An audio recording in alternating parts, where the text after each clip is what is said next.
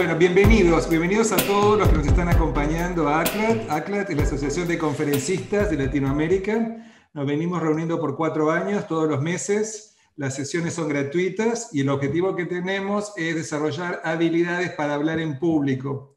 Entonces tenemos invitados todos los meses que hacen presentaciones y el objetivo que tenemos es, por un lado, aprender del contenido que se presenta y por el otro lado, aprender del proceso de cuáles son los elementos para poder hacer presentaciones en forma efectiva.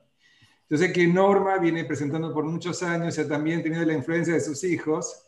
Mi otro hermano, Ariel Goldberg, también es un experto en temas de presentación en público. Escribió un libro que se llama Oratoria Consciente, para los que no están familiarizados. Yo sé, Norma, que vos has participado en muchas de sus presentaciones y, sesiones entrenándote sobre cómo hablar en público y cómo hacer presentaciones.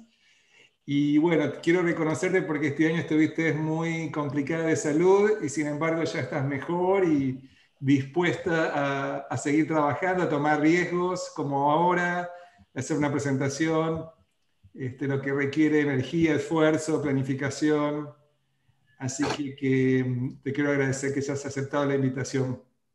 gracias por invitarme. Y también invitar a todos los que nos están acompañando hoy. Esto está abierto para todos los que quieran participar, así que que los que tengan un tema que quieran presentar y quieran exponer, me avisan. Vamos a preparar el calendario para el año que viene, en el próximo mes. Así ya tenemos un calendario para todo el año, ya sabemos qué presentaciones cada mes, mes por mes. Ah, hasta fin de año tenemos otra presentación más este, que va a estar haciendo, em, a ver, estaba anotando acá la confirmación. Este, sí, me, acaba de confirmar Gabriel Furman de Chile, que va a estar haciendo una presentación de cómo hablar y cómo aprender virtualmente, el aprendizaje virtual, que creo que ah, es de mucho interés para todos nosotros. Así que, que eso va a pasar el mes que viene, siempre el tercer jueves del mes, siempre a la misma hora. Así que, que somos consistentes con, con, esta actividad el día y la hora. Así que, que bueno, todos los que estén interesados en presentar, me avisan. Lo que vamos a hacer, Norma, es tenemos una media hora más o menos para la presentación y después para hacer, eh, para compartir en, en, pequeños grupos que aprendieron sobre cómo hablar y presentar eh, información. O sea que el, el, objetivo que tenemos es cómo ser conferencista, cómo presentar información, cómo hablar en público, ese es el enfoque que tenemos. Y el tema que tenemos es un tema muy interesante, que es de la relación entre coaching y psicología. La mayoría de las personas que nos acompañan son coaches, no todos, no es un requisito ser coach, pero la mayoría de las personas de esta comunidad son coaches. Y les voy a pedir que se presenten en el chat room. Lamentablemente no tenemos tiempo, tenemos solamente una hora, así que, que no tenemos tiempo para que cada uno nos, se presente, pero sí en el chat. Pueden poner su nombre, desde dónde nos llaman y si han participado o si es la primera vez que nos acompañan. Entonces les pido que en el chat room nos, nos compartan su nombre, desde qué ciudad se están comunicando y si han participado o si es la primera vez que están con nosotros. Y bueno, con esto, Norma, creo que vamos a empezar. Este, no acordamos cómo querías que te presente, así que te dejo a vos para que te presentes como vos quieras. bueno, eh, soy Norma Perel, soy psicóloga, coach, eh, mentora, supervisora, formadora de formadores, a lo que me dedico más actualmente. Y realmente para mí eh, dar una conferencia es todo un tema, pues yo he ido a todas las clases de Ariel, de mi hijo de oratoria, porque era un desastre, o sea, no, no, no podía hablar en público, no me animaba, no, no. Así que bueno, aprendí con él este, y, he ido a muchas clases, porque él a lo mejor eh, maravilloso porque no se repite, así que bueno, aprendí muchísimo con él y también con Damián, por supuesto, de participar en las reuniones de los, jueves. Este, y bueno, le quería, quería contar, puedo empezar, Damián, sí, sí, largo. Sí, empezamos. Eh, lo que sí, eh, pasame para que pueda compartir pantalla para pasar un PPT, que lo voy a tener que achicar mucho, pues yo pensé que la última media hora era para preguntas, pero ahora vos me decís que no, que es para presentación. Así que bueno, voy a tener que achicar un poco el... No, podemos, tenemos flexibilidad en este espacio, como vos no quieres usar el tiempo, ¿sí? Hay flexibilidad, si preferís dedicarle más tiempo a preguntas. Sí, al final queremos dedicarle por lo menos 15 minutos para que todos puedan compartir qué aprendieron sobre cómo hacer presentaciones. Me aparece a mí eh, que tengo que admitir a los que se siguen inscribiendo. No, eso lo estoy diciendo yo, porque como sos co-host, también ah. ahora la gente sigue entrando. Ah, por eso lo veo también, pero te lo digo a vos entonces. Sí, no te preocupes. Perfecto. Bueno, entonces, eh, antes que nada les voy a contar cómo llegué al coaching, porque eh, tengo, qué sé yo, ya tener, a ver, 50 años de psicóloga, este, y realmente eh, por influencia de mis hijos, esto fue el mundo al revés, o sea, gracias a ellos, este, yo llegué al coaching. y me enamoré del coaching, o sea, todos los cambios y transformaciones personales que a lo mejor después de haber hecho terapia individual, de pareja, de familia, este, de todo tipo y color, este, empecé a descubrir cosas que por ahí con la terapia no, no había descubierto y bueno, me enamoré del coaching. Así que bueno, así sigo, haciendo coaching este, con algunos pacientes donde también aplico coaching, pero la mayoría este, de mi trabajo en estos momentos se dedica a la formación. Se escucha bien, ¿no? Sí, te escuchamos bien. bárbaro. Me voy a compartir pantalla eh, y les voy a plantear cuáles son los objetivos. Este, ¿Cuáles van a ser los objetivos? ¿Qué pasó? No, no, no me aparecen los, Tienes que tener la presentación lista para que, para que la puedas mostrar. Entonces, un momentito. O sea, abrila. Abrila. La tengo que abrir, claro. Yo sí, abrila que, que vos la puedas ver. Vos la puedes ver, después podés poner que compartir pantalla. Claro, perfecto.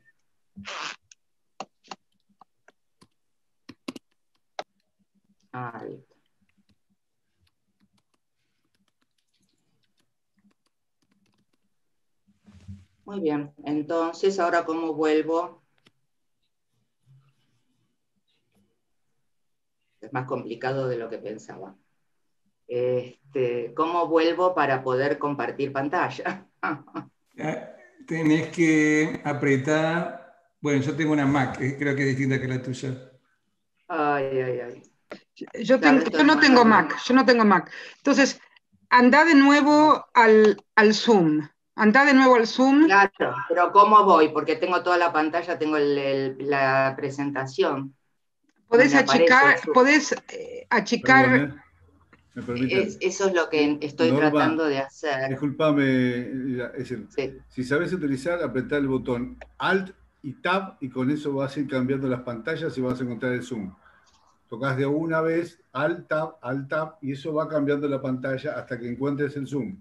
Y de ahí vas a salir. Ah, yo puedo cambiar las pantallas, pero me siguen apareciendo las pantallas. A ver si pongo fin de la presentación.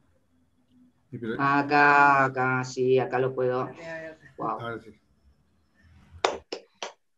Acá Espera que lo veamos nosotros y después aplaudimos todos. Bien, entonces ahora sí pongo compartir pantalla y acá me aparece. Creo que es esta, sí. Sí, está funcionando. Ok, ahí está. Aleluya. Ok. Bien. Eh, tengo una con los objetivos. ¿Querés apretar? Eso, perfecto. Ahí, se ve bien. Bueno, entonces, eh, lo que voy a contarles hoy es un poco la diferencia, diferenciar coaching, psicología y psicoterapia, que muchas veces se confunde. Yo creo que el nivel de los presentes, veo personas de muy buen nivel, Sergio Campos, o sea, de repente hay un montón de, personas que han estudiado con nosotros, Damián, o sea, estoy emocionada. Bueno, este, pensé que iba a haber más alumnos porque me dijeron que iban a derivar alumnos de la escuela, pero bueno, este, hay personas con muy buen nivel, así que voy a achicar las, este, las explicaciones. O sea, voy a ver los aportes de la psicología del psicoanálisis y los límites del coaching y de los coaches. Los coaches también tenemos límites para poder hacer coaching en determinadas situaciones. Eh, bien. Entonces, ¿qué es la psicología? Es la ciencia que estudia los procesos psíquicos de la personalidad a partir de sus manifestaciones externas, o sea, de la conducta. De acuerdo a la aplicación, podemos eh, diferenciar entre la clínica de psicoterapia, la organizacional, educacional, forense, institucional, la psicoterapia psicoanalítica dentro de las psicoterapias, la psicoanalítica es la que más se diferencia de coaching, y dentro de las psicoterapias postmodernas están todas las que influenciaron directamente en el coaching. O sea, la gestáltica, sistémica, positiva, logoterapia centrada en el cliente, que pueden ser individual, grupal, de pareja, familia, y más recientemente la biodecodificación y la neurociencia. De todas estas me imagino que ustedes una idea tienen, o sea que yo tenía para desarrollarlo, pero me parece que no tiene demasiado sentido eh, detenerme en esto, por ahí sí más en la última parte, que es la parte más de derivación y en qué situaciones nos encontramos los coaches en estos momentos también de pandemia. Eh, dentro del coaching también hay, podemos diferenciar el coaching personal, ejecutivo, el coaching de salud, nutricional, deportivo, corporal, eh, vinculado con la mediación, las leyes, con la política con el arte, con los artistas, eso bueno, está en auge últimamente ¿no? en la televisión. Eh, a ver, dentro de los objetivos del coaching, por ahí lo más importante para destacar es la diferencia entre maximizar el potencial personal y profesional, o sea, trabaja con la salud y los objetivos concretos del cliente, que pueden ser objetivos para una sesión, para todo un proceso de cinco o seis sesiones, o ocho, o un año, depende de las circunstancias, la situación y el tipo de acuerdo al que se llegue.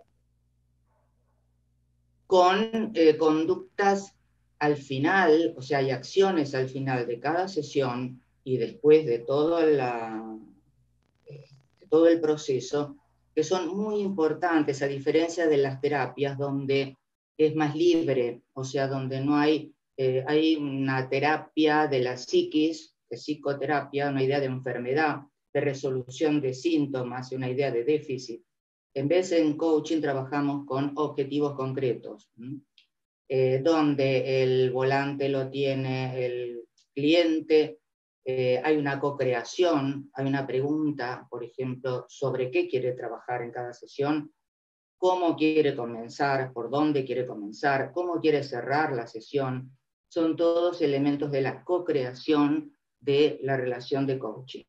A diferencia de una terapia donde el saber lo tiene el terapeuta, las indicaciones, incluso en una terapia cognitiva, este, que podría asemejarse más al coaching, eh, las ofrece el terapeuta, o sea que va a determinar qué tipo de ejercicios conviene hacer o no este, para determinado tipo de situaciones, eh, o sea que las acciones las determina el terapeuta. En el coaching también en cada sesión se comienza viendo qué compromiso hubo en la acción del, del cliente, o sea, si se comprometió con las acciones, si las realizó, si no las realizó, este, y si no las realizó, qué pasó, por qué no las realizó. O sea que esto es muy importante, a diferencia también de la terapia que puede ser mucho más eh, libre, digamos. Bien. A ver los puntos en común. Eh, más allá de las diferencias, está la creación de confianza, una escucha más allá de lo que dice el cliente, la presencia, la empatía, O sea, eh, la posibilidad de ponerse en los zapatos del otro. Esto, tanto en terapia como en coaching, es muy importante.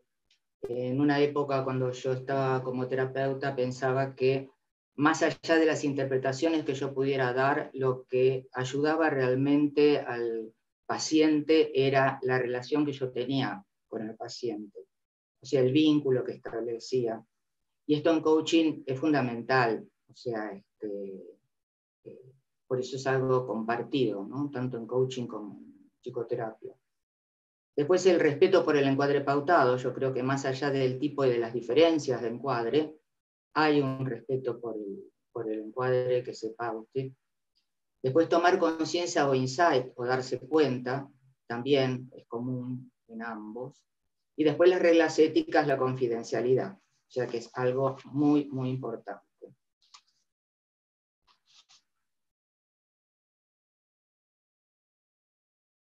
Yo le iba a ser más interactivo, pero me parece que no vamos a, tener tiempo. Bueno, después que yo muestre un par de, filminas más, este, les voy a plantear porque mejor eh, también tienen ejemplos para aportar y cosas para decir, los presentes que tienen mucha experiencia y mucha trayectoria. Eh, estamos trabajando en los últimos años a partir del estudio de la supervisión este, los aportes de psicoanálisis que ahora los estamos trasladando también al coaching, porque son muy importantes para tener en cuenta y para que los coaches los tengan en cuenta. Eh, ¿Qué son? La proyección, eh, que puede ser la idealización o la persecución. O sea, ¿qué quiere decir? La proyección es la transferencia cuando se transfiere a una persona aspectos propios que en el caso de la persecución son aquellos aspectos negativos que uno rechaza a mí esta persona no me gusta. Y de repente estoy poniéndole a esa persona aspectos personales que no me gustan a mí, pero que no los veo en mí. Y por ahí los veo muy bien reflejados en la otra persona. O la idealización, por ejemplo, en el enamoramiento, se da también la visión de una persona del otro como alguien maravilloso, ideal, y a lo mejor estoy poniendo cosas mías, que no son del otro y que después en la convivencia o en la prolongación de la relación eh, resultan que no eran tan, tan buenos como yo los había idealizado. Eh, la transferencia es una forma de proyección que puede ser o positiva o negativa, o sea, la transferencia positiva en una relación de coaching, por ejemplo, es importante para el buen vínculo, que tiene que ver con la empatía, con eh, la simpatía, o sea, la positividad de lo que el cliente siente por el coach. Negativa o positiva también, negativa como transferencia en general, es la transferencia, el traslado de historias personales pasadas del cliente en la figura del coach. O sea, que lo puede ver como un padre protector, lo puede ver como un padre desafiante o una madre desafiante, este, y puede ser negativa si realmente hay como un rechazo, actitudes que está transfiriendo en el coach que no corresponden al coach, que son por ahí también historias personales que tuvo con alguna figura, ya sea paterna, materna o docente, y que perjudicó su historia, con lo cual, este, y que lo afectó personalmente, con lo cual la figura del coach puede pasar a adquirir para el cliente esas características negativas, por ejemplo. Y la contratransferencia es lo opuesto, es lo que siente el coach en relación al cliente, que puede ser como respuesta a lo que el cliente le provoca, o que puede ser también porque está poniendo cosas en el cliente, como por ejemplo verlo como un hijo, sobreprotegerlo, este, o al revés, si es una persona mayor, verlo como un padre peligroso, o sea, es todo lo que el coach puede transferir en el cliente. Por eso es tan importante la supervisión, porque en supervisión trabajamos todos estos aspectos para poder lograr un mm, mejor vínculo del coach con su cliente y que pueda disociar o darse cuenta, porque muchas veces estos aspectos permanecen mudos, o sea que el coach ni siquiera es consciente, no se da cuenta de, estos aspectos. O sea que por eso es tan importante la supervisión. Y la identificación es un proceso que se da muy habitualmente y que puede servir en algún punto si el coach lo comparte con el cliente para crear confianza. Por ejemplo, si el cliente está pasando por una situación X, el coach le confiesa al cliente que él también pasó, vivió esa situación en algún momento, puede crear un tipo de confianza determinado, verlo al coach como alguien, como un ser humano, que también le pasan cosas, pero esto sería bueno para plantearlo con un objetivo determinado, pero no como en forma sistemática de que el coach esté declarando permanentemente las cosas en común que tiene con su cliente, este, porque si no también sería contraproducente. Eh, hay identificaciones que producen bloqueos en el vínculo. La vez pasada estábamos supervisando una situación donde eh, la coach estaba muy angustiada porque estaba atendiendo a una chica de 20 años que se quería ir de la casa, que tenía muy mal, vínculo con, con, los padres, este, y que ella justo, la hija de ella, hacía poco tiempo, se había ido del país. O sea que ella estaba viviendo con esta, estaba muy angustiada la coach, estaba viviendo con esta clienta todo lo que estaba sufriendo en relación a su hija, con lo cual el haberse dado cuenta también de esto le ayudó mucho a separarse. Nosotros usamos mucho también la disociación como instrumento para que se puedan separar, diferenciar, bueno, ¿en qué soy, en qué tengo en común y en qué soy diferente? cuál es la situación diferente que, tengo yo en estos momentos, que me puede ayudar a poner distancia y a trabajar con este cliente de una manera distinta. Este, bueno, todos los límites del coaching y de los coaches. Por eso yo puse de los coaches porque eh, lo que trabajé recién, o sea, todo el tema de la contratransferencia, tiene que ver con las dificultades de los coaches y la importancia de la supervisión, o sea, para que puedan también trabajar o darse cuenta de estas situaciones que pueden estar transitando. Eh, y más en estos momentos, digamos, ¿no? donde eh, a partir de la pandemia eh, estamos todos inmersos en una situación de angustia, de ansiedad, de incertidumbre, con lo cual los clientes nos van a traer situaciones que nos van a tocar directamente, y en muchas situaciones a veces es preferible declararse incompetente y poder hacer una derivación. Si uno no siente que puede eh, de alguna manera contener las angustias eh, de, los clientes, esto ha pasado con algunos coaches donde las consultas son de tal índole y de tal magnitud de angustia que no los pueden contener. O sea que este, son situaciones justamente para poder derivarlas. Bueno, las situaciones frecuentes que se pueden producir en una consulta, que serían para tener en cuenta, la máxima sería el ataque de pánico. El ataque de pánico dura 15 minutos, la sensación es la sensación de muerte, con este, taquicardia, transpiración, eh, sensación de que pierde el conocimiento, de que le falta el aire, de ahogo, puede producirse también desmayos. Este, estas son situaciones que requieren también eh, medicación. O sea que si en algún momento les toca alguna situación que con estas características de alguien que le recomendaron que haga tratamiento y no lo está haciendo, es complejo que el coach pueda tomar una persona en estas condiciones sin trabajar en equipo, digamos, con un psiquiatra, por ejemplo. Eh, por ejemplo, hay también estados de excesiva preocupación, impaciencia, irritabilidad, alteración del sueño, tensión muscular. Todo esto, ojo, lo podemos compartir todos. En algún momento a nosotros también nos puede pasar. Lo que pasa es que si esto se da como eh, en una secuencia en el tiempo donde persiste y demás, un coach no puede estar capacitado para hacerse cargo de este tipo de patologías.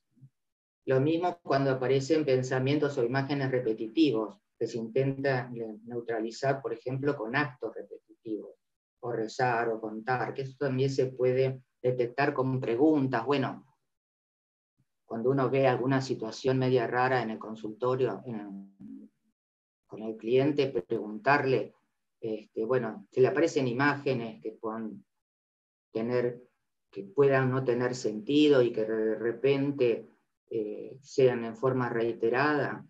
Este, después por ahí recuerdos o sueños recurrentes sobre una situación traumática. Este, o pensamientos recurrentes de muerte, idea de muerte, bueno, no puedo dar más, este, no puedo más con esta vida, no puedo soportar más el encierro, que está pasando mucho también ahora a nivel de, la pandemia. Y recuerdos o sueños recurrentes sobre una situación traumática, que puede ser después de una operación.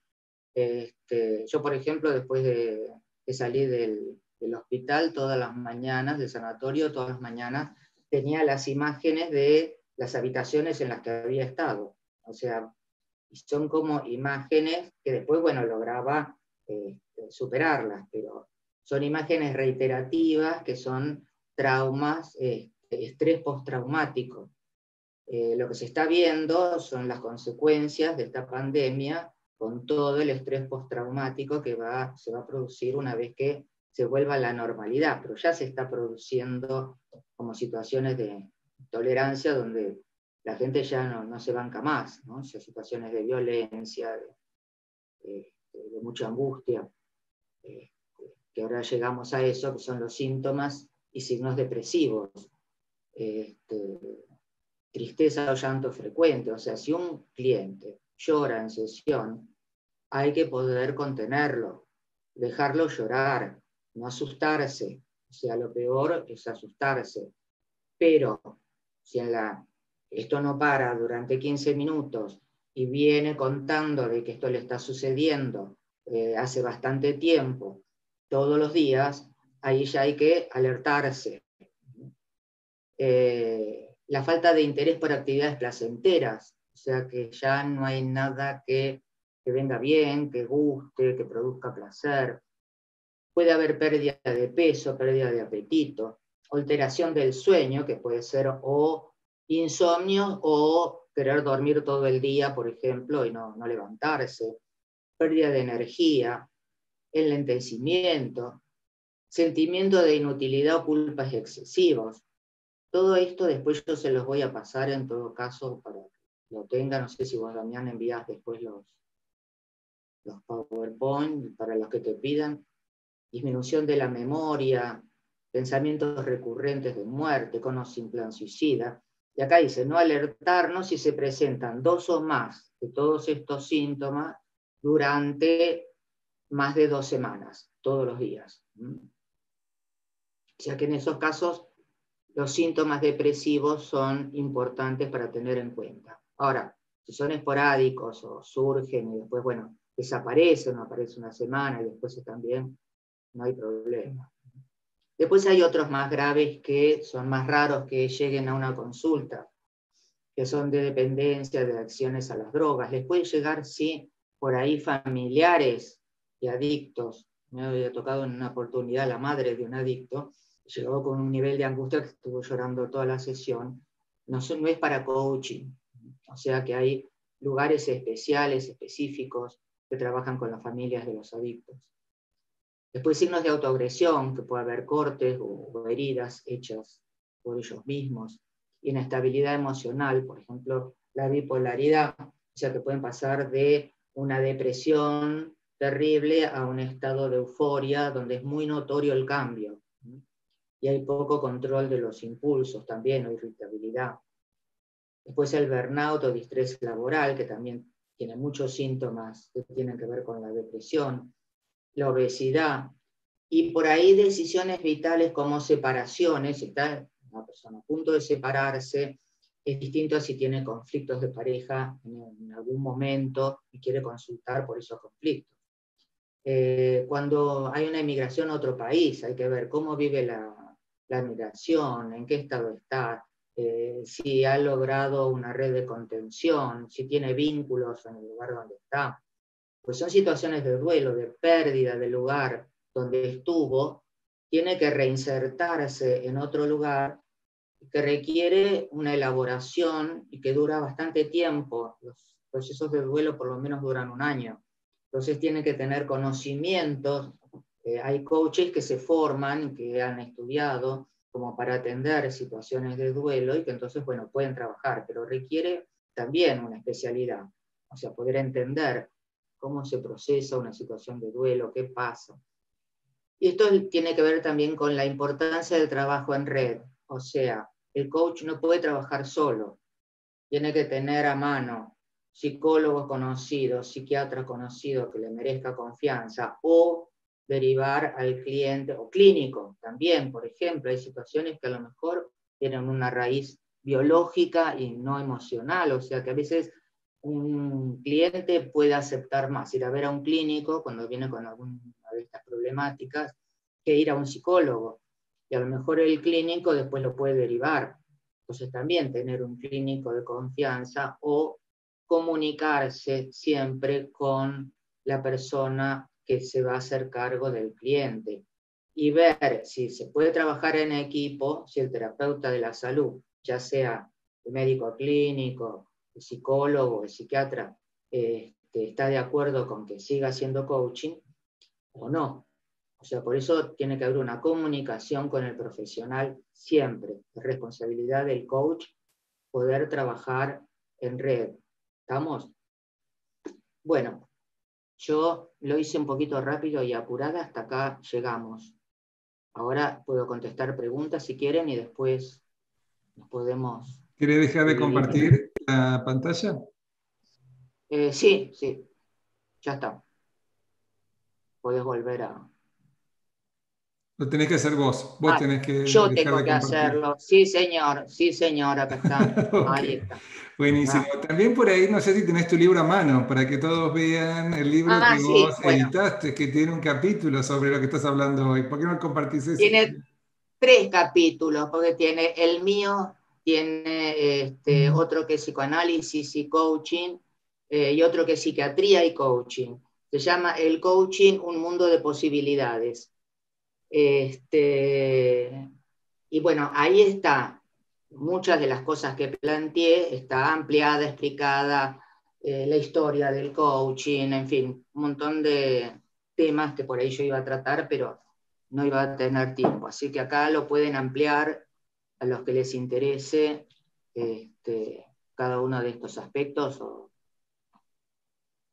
y ahora, bueno, me gustaría contestarles algunas preguntas o escucharlos si quieren hacer algún aporte también, ¿no? De algún ejemplo. ¿Te parece bien? Entonces dediquemos 10 minutos a preguntas y respuestas y después dedicamos 15 minutos a compartir sobre la presentación y cómo hacer presentaciones efectivas. ¿Quién, quién tiene alguna pregunta o comentario que le gustaría empezar?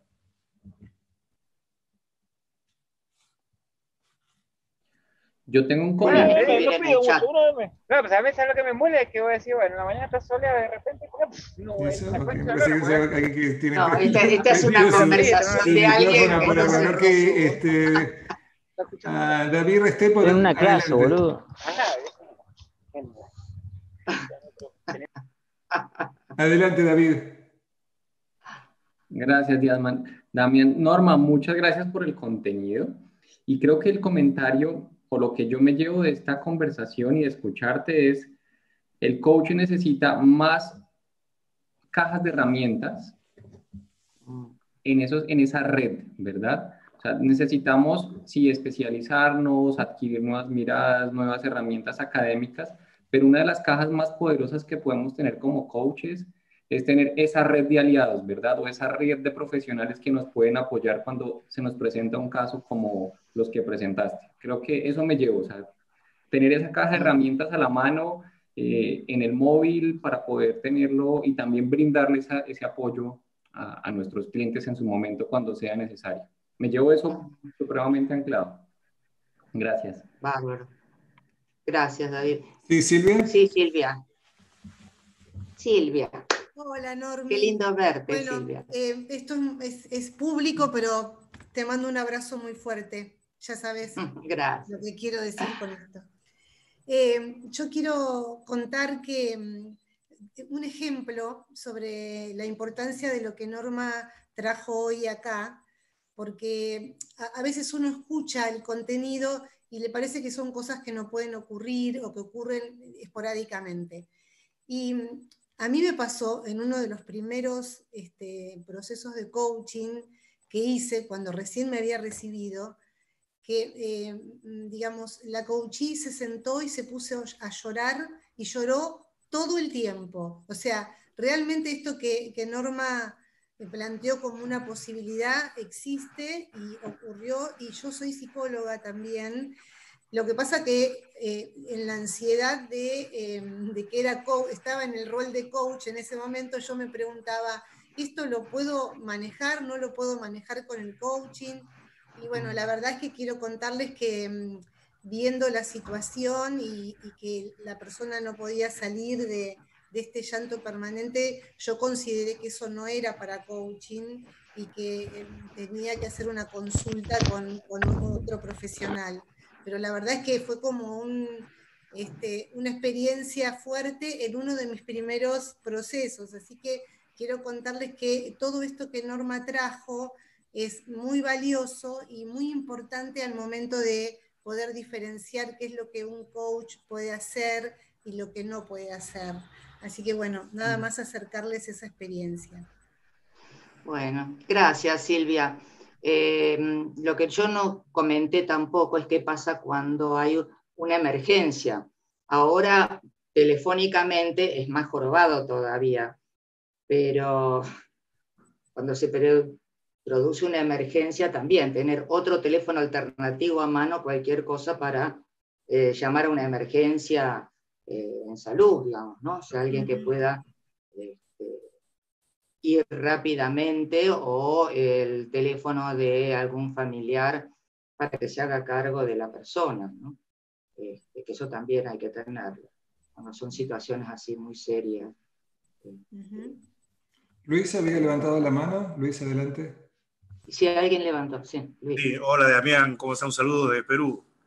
Eh, ah, ah, quiero decir algo y plantear la pregunta porque creo que el material es muy arduo y los invito a seguir investigando con alguna bibliografía más que puedan co-crear. Eh, es sobre eh, la importancia de, del cuidado también desde las escuelas de coaching, de quiénes son los candidatos que vienen a las formaciones y sobre la mm, el trabajo de inteligencia emocional y situaciones concretas. Hay algunas escuelas que estiman examen psicológico, los instructores van chequeando, etcétera, etcétera, etcétera. Chequeando es cuidando una, una jerga un poco peruana.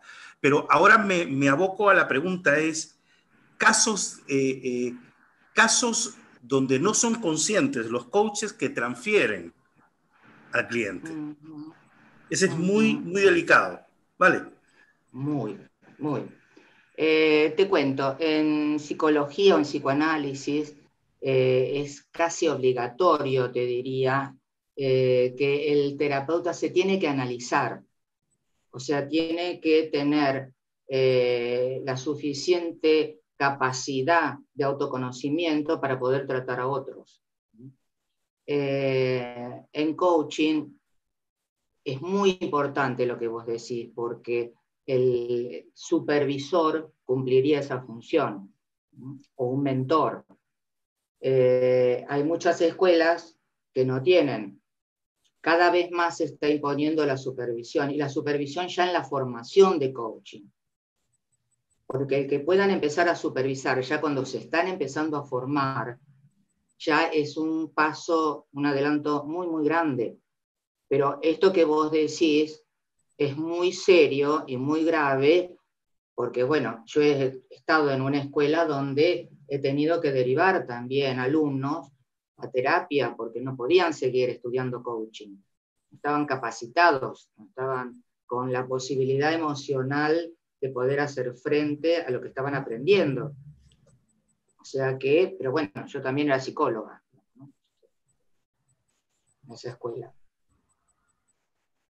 Sí, Mauricio, ¿querés? Sí, eh, en relación inclusive a lo que estabas comentando, Norma, yo en estos momentos estoy en, una escuela a la que yo también concurrí, es decir, cuando tiene algún mentor, tiene alguna duda, me llaman a mí para que evalúe. Es decir, mm. que esto es una cosa nueva también, porque si no terminaba esto, no sé, no, no, no se lo seguía tan puntualmente. Y en estos momentos, este, y últimamente más frecuentemente, ¿no? Es decir, este, concurro porque me llaman para a ver que haga una evaluación, ¿no? Como psicólogo. Una evaluación psicológica, claro. Sí, sí. yo soy psicólogo, claro. Este, este, así que bueno, ojalá todas las escuelas lo pudieran implementar también eso, ¿no? Todo empieza también por la conciencia de la importancia. Y en este momento especial, como Norma presentaba con el coronavirus, todos estamos lidiando emocionalmente con todos los desafíos que tenemos. O sea, todo también, las personas que tenían algunos síntomas o algunas cosas que quizás eran leves, como resultado del coronavirus, se ven ampliados. Entonces, si alguien estaba un poquito deprimido, está muy deprimido. Estaba un poquito ansioso, ahora está muy ansioso. Entonces, ¿cómo lidiamos también como coaches con la capacidad de poder, como decía Norma, derivar? Entonces necesitamos reconocer esto y a veces el desafío también en alumnos nuevos de escuelas de coaching que están con muchas ganas de trabajar y de empezar a trabajar como coaches y les es más difícil decir no, quizás no es para coaching, lo tengo que derivar. Yo creo que los coaches que tienen más experiencia, con la experiencia se dan cuenta cuándo y cuándo no es apropiado. Pero para los alumnos de escuelas de coaching o coaches muy recién graduados, es donde yo siempre refuerzo esto de que si hay alguna duda, yo lo que siempre digo, si hay alguna duda es porque probablemente sea para derivar. Mm. ¿Sí? Si hay alguna duda, probablemente esto es algo para todos, para que se lleve también el día de hoy. Si hay alguna duda, que probablemente sea para derivar. Tenemos tiempo para una pregunta más antes de pasar al trabajo de presentaciones. ¿Alguien más tiene algún último comentario o pregunta? Sí, Carlos.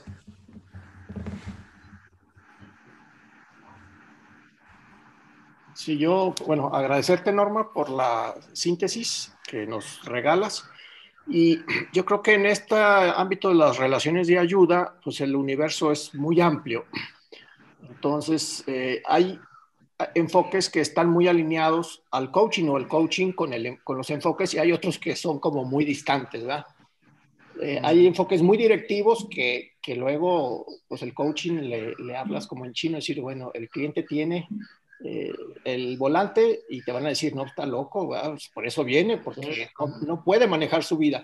Hasta enfoques que son, sí, definitivamente el cliente tiene el volante y, y además todo el potencial. Entonces hay, como una gama muy amplia de, abordajes en, las relaciones de ayuda. Y yo sí creo que mientras más contacto tengamos con diferentes opciones, una puede derivarlos mejor y también te permite tener como eh, más posibilidades de, de, acompañar o de distinguir, ¿verdad? Ese es mi comentario. Gracias, Carlos. Sí, sí, totalmente de acuerdo. Norma, ¿algo que quieres decir de cierre antes de pasar al feedback? Bueno, yo espero porque fue una síntesis muy apretada. Yo creo que este es un tema que da para mucho, es muy amplio eh, y podría haber hecho, bueno, muchos más aportes con más ejemplos y demás con, más tiempo. Pero bueno, espero que les haya sido útil y que de alguna manera, sobre todo, este, eh, la importancia de compartir esto que nos está pasando, que nos está pasando a todos, este, y poder, dentro de eh, nuestra humanidad, poder compartir esto sabiendo de que todos estamos también sintiendo cosas similares, nos está pasando lo mismo. Entonces, eh, poder desde ahí sentir, yo diría, ver, desde la aceptación eh, compasión, eh, perdón, perdonarnos a nosotros mismos, o sea, como que parecen palabras huecas, pero yo creo que en estos momentos son muy importantes para que nosotros, coaches, podamos incorporarlas y poder vivir desde ahí en la relación de coaching, porque en mi experiencia en estos momentos, la estructura del coaching como podría ser eh, lo que yo también enseño, lo que formo a los alumnos, eh, cambia muchísimo, porque a lo mejor lo que más tenemos que hacer es escuchar, escuchar y acompañar, y intervenir en todo caso lo menos posible. Eh, no seguir una estructura rígida de que, bueno, tengo que hacer tales y tales preguntas, porque es lo que aprendimos. Eh, y de repente no, lo que hay que hacer es estar presente y escuchar y acompañar. Eh, y tratar, bueno, en lo posible de poder contener las emociones desde elaborar nuestras propias emociones que están en juego y de tenerlas claras y de ser consciente de ellas. Así que bueno, esto es lo que les puedo aportar desde lo que yo estoy haciendo ahora. Muchas gracias, Norma. Le vamos a reconocer, le pido que abran los micrófonos para que pueda escucharnos y pueda escuchar nuestro reconocimiento. ¡Bravo, Norma! Muchísimas gracias por, oh, gracias, Norma. por la energía para poder hacerlo. Y los últimos 10 minutos lo que vamos a hacer es vamos a hablar sobre el proceso de presentaciones. Les voy a pedir a todos que en el chat room, que todos participen, y les voy a pedir a todos que en el chat room escriban qué observaron que fue efectivo en esta presentación que hizo Norma. ¿Qué les pareció que fue efectivo? ¿Sí? En términos, escucharon la presentación, ¿qué les pareció que fue efectivo? Y Norma, te voy a pedir a vos que vos te hagas tu propia tu evaluación. Si tuvieras que poner un poquito de distancia y tuvieras que hacer tu propia tu evaluación de esta presentación, ¿qué, ¿qué, dirías? ¿Qué te dirías a vos misma? Que empecé bien planteando los objetivos, lo que iba a dar. Lo que pasa es que sobre la marcha, de repente el tiempo se me achicó, pues yo pensaba pasar dos o tres diapositivas, este, eh, plantear algún intercambio, o sea, como hacerlo más, más conversado, más, este, más fluido. Siento que fui a toda máquina muy acelerada, este, demasiado rápido y demasiado sintético. Eh, después tendría que evaluar qué, qué, de todo lo que iba a decir no dije. Este, y si dije realmente. Hola chicos, ¿cómo están? Y eso, alguien que dejó abierto su micrófono. Así que bueno, este, creo que transmití, en todo caso más al final, más quién estoy siendo yo. O sea, al pasar la filmina yo creo que hubo una cosa de aceleración y de querer terminar en dar lo máximo en el menor tiempo posible y bueno, este, quizá no sé si lo logré, pero algo parece que se entendió o algo llegó eh, por las respuestas posteriores. Si, tuvieras que hacer algo diferente, ¿qué, qué, hubieras hecho diferente? Si tuvieras que decir que haría esto diferente, ¿qué dirías? Animarme a trabajar sin filminas. Okay, Ese es mi objetivo futuro. Sí, ok. Entonces esto, esto es lo importante porque esta es una oportunidad para todos, para aprender cuando hacemos presentaciones. Yo te voy a dar un tip, que te lo doy a vos, Norma, pero se lo doy a todos. La gente no sabe lo que nosotros no estamos haciendo. Entonces, por ejemplo, si uno dice, oh, eh, tengo planificado para presentar por media hora, pero les voy a dar nada más cinco minutos de la media hora. Entonces la gente dice, ¿qué pasa con los otros 25 minutos? Pero si ustedes no dicen nada, nadie va a saber que les está faltando algo. ¿Pueden ver todos este punto? Entonces, lo que esté faltando, lo que esté cambiando, la gente no necesita saberlo, no lo compartan. Esa información es extra, no, es necesario que, las, que sepan los demás las cosas que nosotros no dijimos, porque si nosotros no le decimos lo que no dijimos, ellos no saben que no lo dijimos. Pero si le mm. decimos algo, ¿cómo, cómo ves esto, Norma? Totalmente de acuerdo. Ahí metí la pata. No, no, no, no, no metiste la pata. Es, es, una, es una algo para todos para prestar atención de cuando presentamos, ¿no? Porque uno de los objetivos que tenemos acá es aprender a presentar. Entonces, eso es uno de los objetivos, es una de las cosas que podemos prestar atención. Recuerden todos esto, cuando tengan que hacer una presentación, si se olvidaron algo o si les faltó algo, solamente ustedes lo saben. Y sí, quizás lo puedan usar para la próxima sesión. Entonces, ese es un comentario. Incluyendo si queremos cambiar lo que vamos a hacer. Si estamos en una sesión y de repente decidimos que vamos a cambiar, a mí me pasa muchas veces, que digo que tengo el planificado, pero ahora me doy cuenta que mejor hago otra cosa. Si la gente no sabe, ellos creen que lo que yo hice es lo que yo tenía planificado. ¿Pueden ver la diferencia? Si uno no dice que algo que está haciendo algo que no iba a hacer o algo, entonces es un comentario, es una observación, es algo, es algo menor, pero es algo para todos. Estoy aprovechando esto para ver qué podemos aprender todos. Lo otro también es de la, de la presentación con, al principio, cuando ibas a presentar, les recomiendo a todos que apaguen todo y que cierren todo cuando van a hacer una presentación.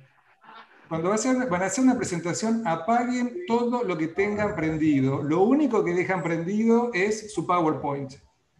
Porque he visto muchas personas que tienen mucha dificultad para de repente encontrar la presentación. ¿Sí? Encontrarla a veces puede ser un tema. Entonces, para evitar eso, mejor lo cierran todo y lo único que dejan prendido en la computadora es su PowerPoint que van a presentar y el Zoom. Todo lo demás lo cierran. Entonces es mucho más fácil poder encontrarlo y poder trabajar con eso. ¿sí? Eso como algo, un tip. Estos son tips, son ideas, son sugerencias de presentaciones en público. Algo que Norma hizo que fue muy efectivo al principio fue decir qué, cuáles eran los objetivos, qué era lo que iba a hablar. Y también empezó contando una historia. Entonces, contar historias o contar ejemplos siempre ayuda. Entonces, Norma, cuando vos contaste ejemplos, yo siempre digo a, a mis colegas, que la gente quizás no se acuerde nada de lo que dijimos, pero quizás se van a acordar de los ejemplos y de las historias. ¿Se dan cuenta que las historias es más fácil acordarse? Entonces, quizás de todo lo que habló Norma Ott, se dice que se retiene uno a los tres, cuatro días a la semana, uno retiene 10% de todo lo que escuchó en una conversación, una sesión, una presentación. Pero es más fácil acordarse de las historias. Entonces, siempre cuando hagan presentaciones, preparen historias, ejemplos, casos, historias. Entonces, eso es lo que probablemente se van a acordar después todos. Y Norma lo hizo varias veces eso. Te leo, Norma, los comentarios que, están acá de los compañeros. Dice, eh, muchísimas gracias, muy interesante y enriquecedor, muchas gracias. Empezar con el objetivo de la presentación, lo que dice Celia es importante, una síntesis muy concreta, el contenido sintético y la experiencia mostrada, compartir su experiencia, la calidez en la forma de exponer, su presencia amorosa, la concreción me gustó, fue efectiva la información, su sencillez y entregarse al final, la vi conectada, fue eh, efectivo, lo preciso. Gracias Norma, muy valioso. Compartir ejemplos de su experiencia. Efectiva su flexibilidad para adaptarse a cortar su presentación y su blanqueo cuando no podía compartir la pantalla. La claridad de la exposición, la claridad efectiva de los comentarios, se detuvo en láminas que pueden interesar más a los destinatarios. Fue muy efectiva en la síntesis y en los planeamientos de los objetivos. Su tono de voz fue genial la claridad de los puntos y los ejemplos, compartirse desde el corazón. Para mi enfoque, la escucha y conectarse con las preguntas ortodoxas. Muchas gracias por tanta información tan valiosa. Gracias por los puntos transmitidos, eh, por el tiempo que había, fue clara y el punto, lo concreto de la información y la calidez desde el corazón. Gracias, Norma. Efectiva la conexión con su propia experiencia, su autenticidad, inclusive al hablar de lo que había pensado hacer y no hizo la presencia y la transmisión de la experiencia, la síntesis tuvo conceptos importantes, la actualidad del tema elegido, el repaso. Oh, hay muchos más comentarios, me parece. Voy a quedar, los invito a, que de repente vi 20 mensajes más en un minuto. Dije, ok, me parece que no voy a llegar a leerlos. Así que, Norma, a todos los recomiendo que los lean por su cuenta. Hay muchos comentarios, así que eso es muy enriquecedor. y creo que todos concretizan un, tipo, otra idea. Casi todos los que están formando parte de estas sesiones son coaches. Y en coaching trabajamos con el ser y el hacer. Y es interesante porque en presentaciones en públicos también es importante quién estamos siendo cuando presentamos. No es solamente la técnica, pero quiénes somos cuando presentamos. Entonces, por ejemplo, yo tengo que hacer una presentación y llego y me sonrío y soy amigable y le caigo bien a la gente, yo digo, me van a perdonar más mi acento en inglés, cuando presento en inglés. ¿Sí? Porque cuando hablo en inglés hablo con acento y la gente tiene que prestar atención y hacer un esfuerzo por entender, ¿sí? para todos los que hablamos otros idiomas. Entonces creo que uno, si cuando, cuando yo me presento y digo algo y me sonrío y soy amigable, estoy tranquilo, seguro, genero una impresión que hace que el otro quiera escucharme. Porque la gente cuando no nos conoce empieza a escuchar y dice, me cae bien, me interesa o, o se cierra. ¿Sí? Cuando uno escucha a alguien, al principio toma la decisión, ¿lo voy a escuchar o no lo voy a escuchar? Y eso pasa tanto en presentaciones en persona como virtuales. Cuánto energía vamos a poner en escuchar a alguien va, a depender a cómo nos cae la persona. Y entonces eso es importante cuando hacemos presentaciones, no solo enfocarnos en el hacer, cómo lo hacemos, pero sino en el hacer, quién estamos siendo. Entonces un buen ejercicio es preguntarnos, ¿quién queremos ser en la presentación? ¿Queremos ser amigables? ¿Queremos ser apoyadores? ¿Queremos ser este, cal? ¿Queremos estar calmos estar, dar seguridad? ¿Quiénes queremos ser? cuando estamos presentando. Tenemos acá a gente que tiene mucha experiencia haciendo presentaciones y una es Patricia Vélez Macal que nos está acompañando. No sé, Patricia, si vos querés hacer a, compartir algo, porque vos sos una experta también en el tema. Entonces, eh, no sé si querés por ahí darle algo de feedback a Norma también. Gracias, eh, Damián. Es un placer estar aquí con Norma y con todas, con todos y con todes. Eh, a mí lo que yo aprecio de Norma y aprecié hoy es siempre que se da del corazón. Y creo que a veces, como dices tú, la técnica la olvidamos, pero no olvidamos cuando las personas conectan desde el corazón. Así que eso creo que me llevo de Norma, me llevo su compartirse, porque no solo es compartir información, sino compartirse ella misma. Te aprecio, te quiero y creo que eso, aunque la gente no te conozca, hoy ya te quiere. Muchas gracias.